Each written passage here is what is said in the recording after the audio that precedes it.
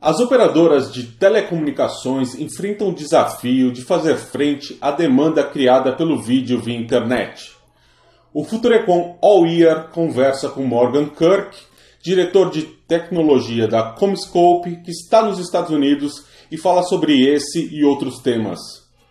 Morgan, como as operadoras podem se preparar para o crescimento do vídeo? So video has been a driving force in the telco industry for quite a while. Uh, today, more than 50% of Brazilians actually stream video daily, and this number is just increasing. So it's very important for our industry as a whole to, to deal with this in, in new and innovative ways. Now, this both happens in the wireless space as well in, in the wired space. Really, what we have to answer the question, the way we need to answer the question, is really in the context of efficiency these networks have got to add capacity, but they have to do so in a cost effective way because that's really what's being demanded by users. On the wired side of the world, that means pushing fiber ever deeper into the network. And we have some technologies like indexing that helps do that. In the case of wireless, there are basically three ways of adding capacity to your network. You can increase frequency, which the government does on occasion.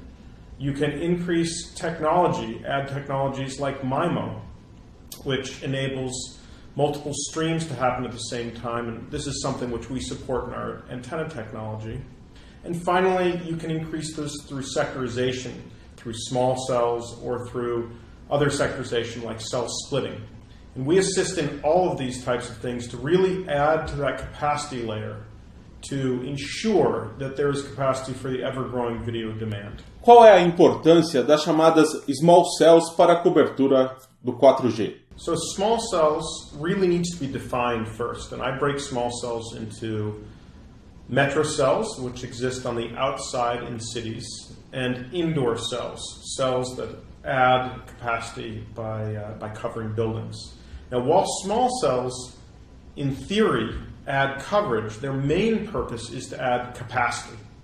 And this is going to be very, very important for 5G and, and for continuing evolution of 4G in that our capacity needs are really growing and they're growing at a rate that's too fast for either technology or additional frequencies to keep up with. So we're going to have a lot more of these indoor cells and a lot more of these metro cells throughout the network to add capacity. O que podemos esperar da tecnologia 5G?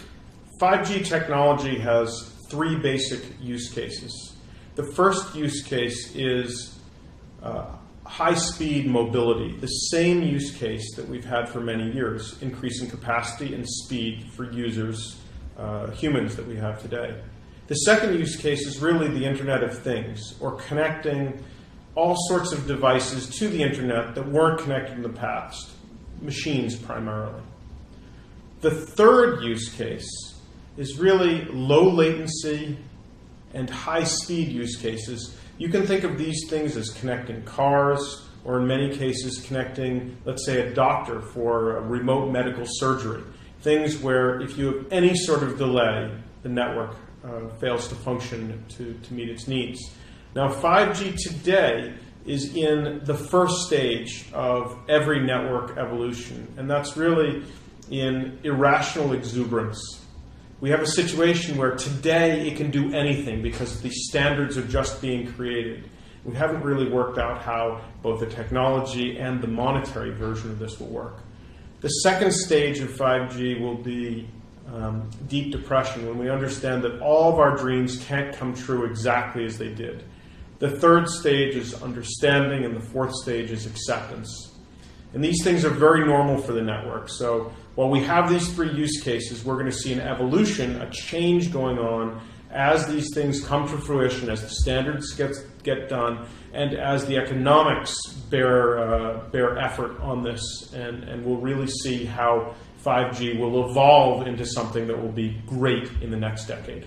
Qual é a sua opinião a respeito da adoção do acesso via fibra em um país como o Brasil, que tem uma grande base de consumidores de baixa renda? Well, Latin America and Brazil specifically, but Latin America in general, has less, just slightly under a 20% penetration rate today, and it's growing fairly rapidly above 25% for, for FTTH. But as FTTH grows, uh, has a higher penetration, it becomes harder and harder to economically justify either the consumer or the geography where this is being done. So in more rural areas or in different types of geographies, it becomes more challenging.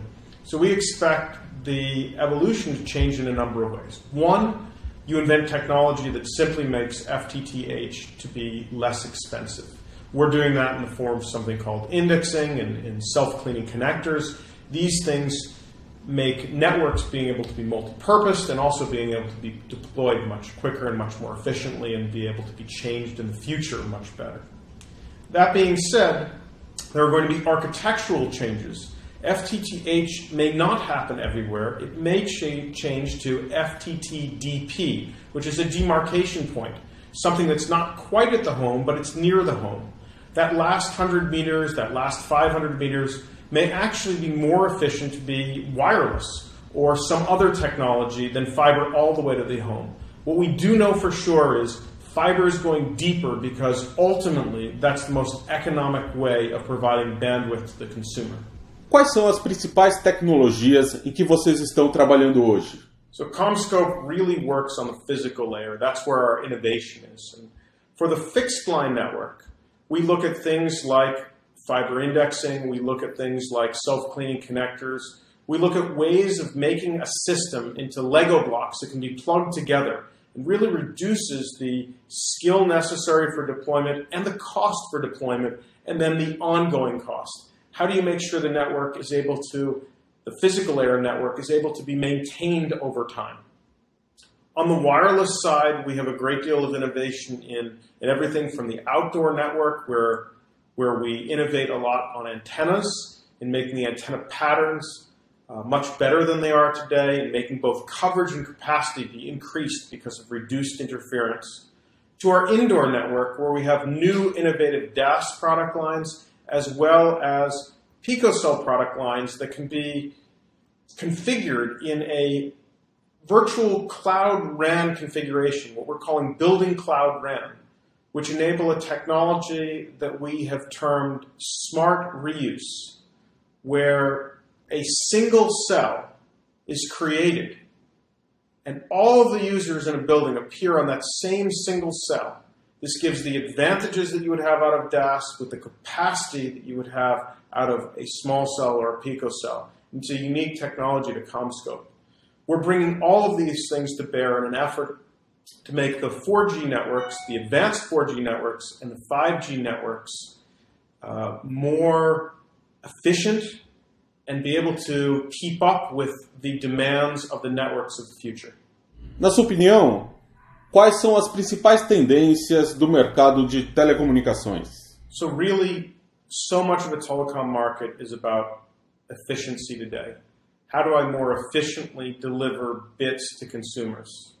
How do I keep up with the data tsunami that's occurred because of video and will continue because of greater video use, higher interaction, machine to machine technology, quite frankly, things like holography and uh, higher definition and virtual reality and virtual augmentation. These are all the trends that are going on. They all come down to how do I reduce the latency, how do I increase the capacity, how do I make the network more flexible, and how do I do it more cost effectively? These are the things that we see. It's a very exciting time in the telco industry. We're looking forward to a decade that we've largely completed connecting people. And we're starting to be in the, the era of connecting everything to everything else. What I see for the future is nothing but opportunity.